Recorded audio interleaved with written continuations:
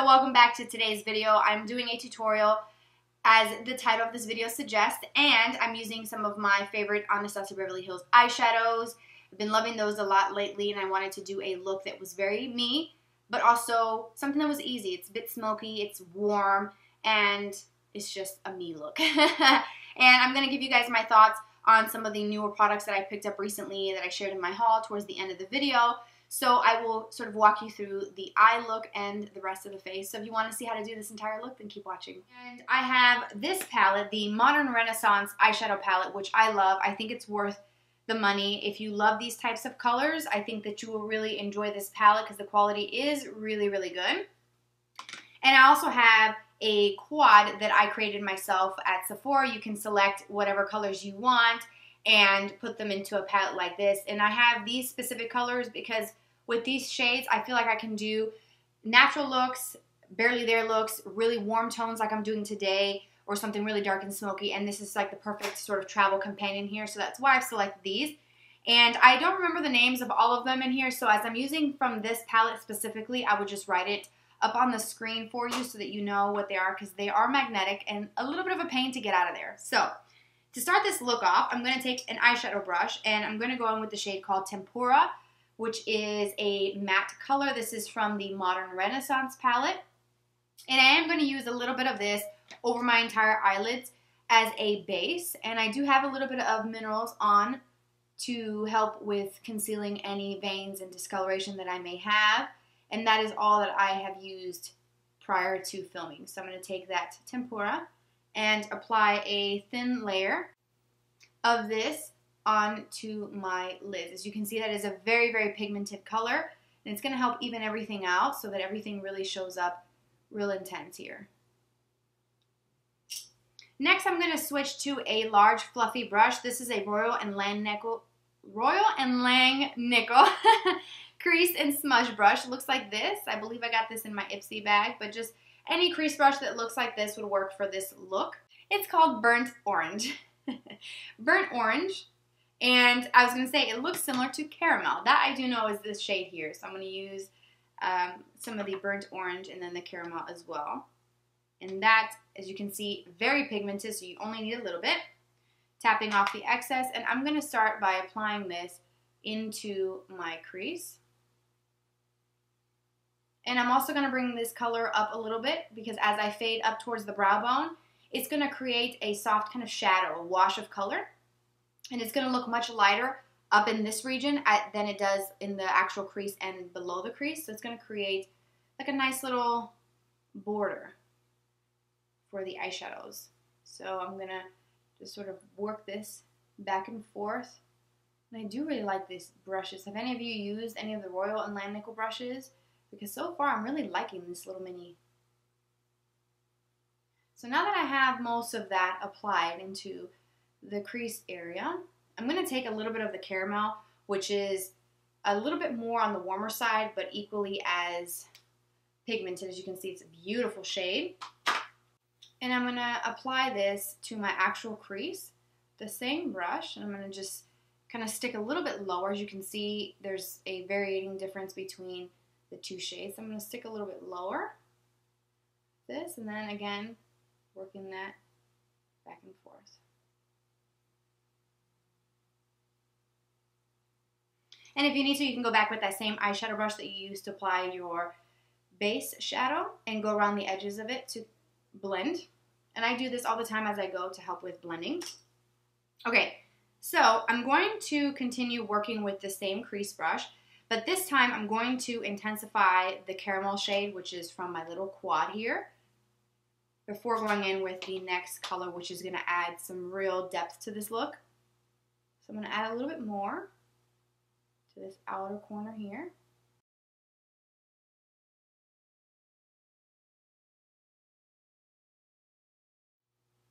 Now, the next step is to take like a really warm kind of orange, and this is called Realgar.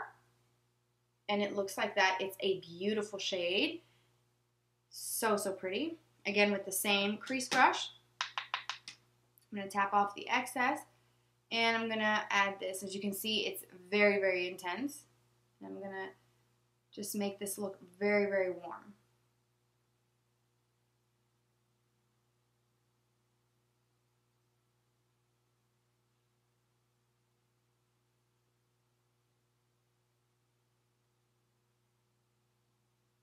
Now I'm going to switch to a smaller brush. This is a 231 Luxe Petite Crease brush from Zoeva. And this is such a good brush. And I'm going to take that Realgar, same eyeshadow, and I'm going to start working this on the outer corner and intensifying this outer edge here. And then once I have the color placed here on the outer V area, I'm going to just use my brush to follow my natural crease shape. Use the very tip of the brush to do that.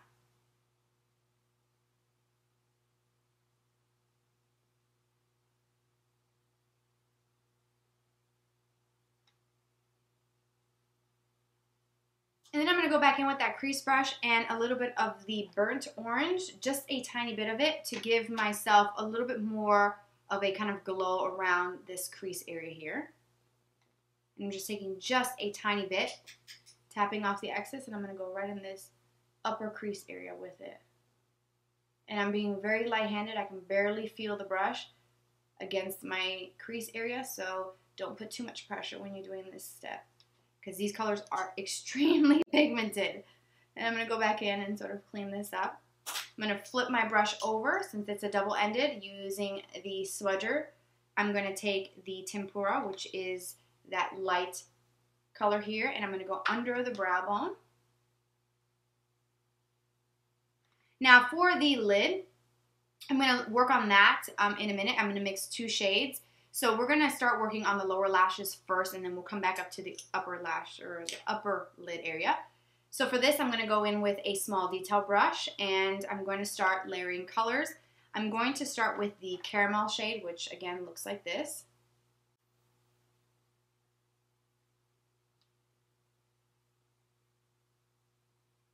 And then I'm also going to use the same brush that I was using for all of my crease work and more precise. And because there's a little bit of eyeshadow left, I'm going to use that to blend everything out. And also, as I do that, it's going to put down a little bit of warmth, as you can see.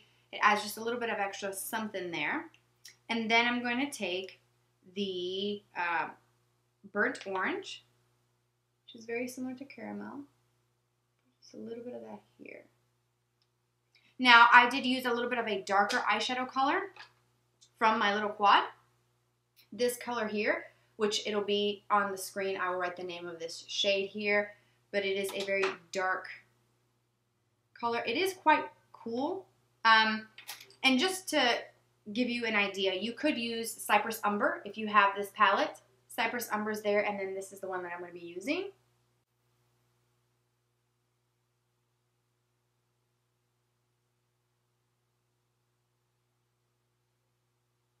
And then again, back in with that brush and let's soften this out. All right, so now we have to work on the inner corner and I mix two shades. The first one is called Vermeer, which is in the palette, and um, it is more of a pinky champagne. And then this shade here, which again, I'll put it on the screen from my little quad. Here are the swatches of the colors if you're going to be able to see the difference. One is more of a pinky champagne, one is a little bit more gold. It has a little bit more of a kind of goldeny sheen, this one, onto the lid. And for that, I'm going to use the MAC 239 to apply that. And I'm just sort of patting so that I don't disrupt any of the other colors that I have. And it also helps keep the intensity of the eyeshadow. Now to give the lids a little bit more of a pop, I'm going to use the Vermeer shade from the Modern Renaissance palette because this has a bit of a more pinky champagne. It's a little bit on the brighter side as far as the tone of color as opposed to the one that I have on my lid. And this is going to go in the very center of my lid. And it's just going to add a little bit of dimension. It's not going to be very intense as far as the contrast between this shade and the one that's on the lid, but it'll give a little bit of something right on the center of the lid area. Then I'm going to go back in with my crease brush, the, the pointed one from Zoeva, and just make sure that everything is kind of blended and doesn't come up too high. And then for the inner corner, I'm going to switch to a Sigma Shader Lid E56 brush, which looks like this. And I'm going to use the Vermeer shade from the palette. I'm going to add a little bit of that to this inner part of the eye and apply that to the highest point of my brow.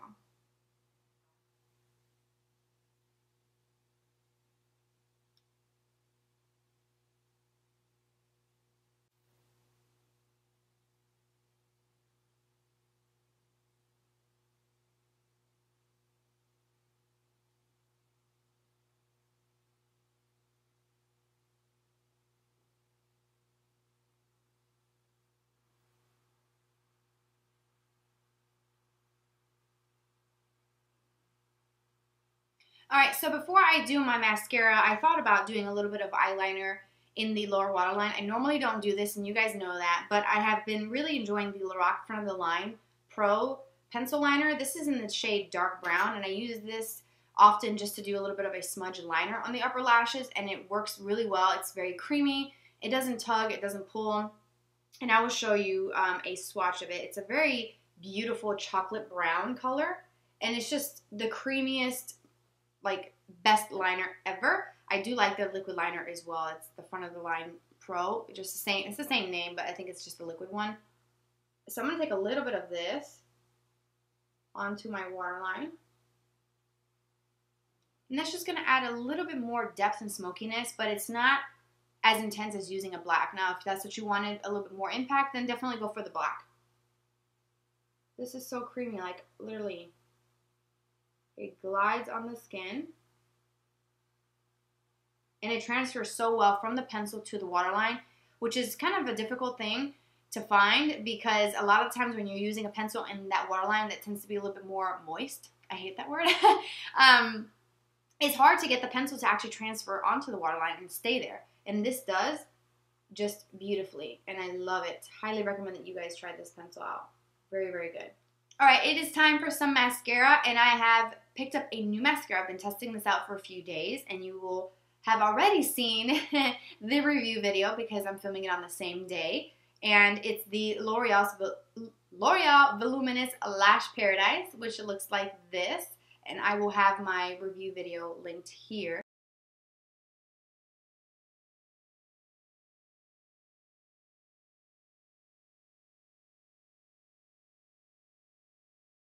All right, so to finish the rest of the face, I need to add a little bit of bronzer. And I'm going to use the Bare Minerals Warmth with the Morphe E3. And this is just the older style the Elite collection, but they still make this brush. And I forgot how good this brush is. So I'm just going to add a little bit of warmth, as the name suggests, to my face because I am looking a little bit pale here. Just a little bit.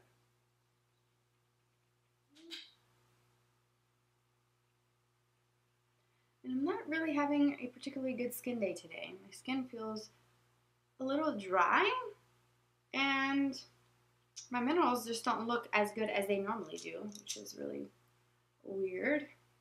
Now for highlighter, I want to use this highlight from NYX. This is the Duo uh, Chromatic Illuminating Powder in Snow Rose. So it may look like just a regular highlighter, but it has a pinky kind of glow to it. And I've been meaning to use it. I don't know if you can, the camera's probably not going to pick up the duochrome goodness of this. So I'm using the EcoTools fan brush for this one. And I'm going to pick up just a tiny bit.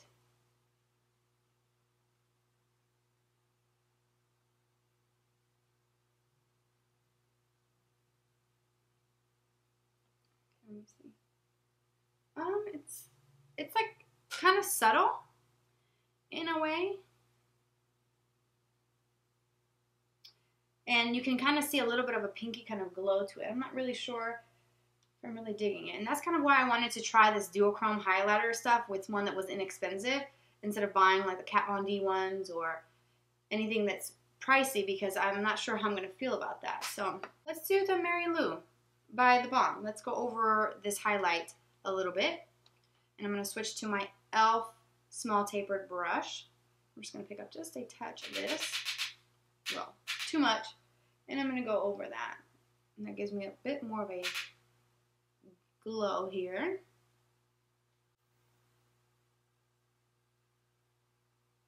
Oh, that's a lot. Mm, down nose. Come into my temples with this. Okay, so now for lips, I think I just want to keep it pretty easy on the lips. So I'm thinking about using my Buxom gloss that I showed you guys in my recent haul, and this is in the shade called Trixie. So it's like a peachy, goldeny pink color. I thought it was going to be more pigmented, but against my actual like natural lip color, it doesn't seem very pigmented. Just mostly kind of like a